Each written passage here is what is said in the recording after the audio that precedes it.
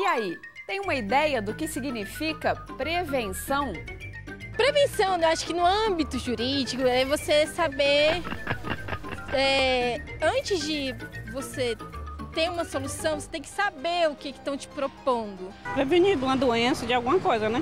É a mulher que faz prevenção. Só sobre a prevenção que a gente faz no posto, né? É, prevenção é prevenir de alguma coisa, né? Mesmo que prevenir, evitar. Quem explica pra gente é o nosso expert jurídico, o professor Toguinha. A prevenção é uma sacada e tanto no judiciário.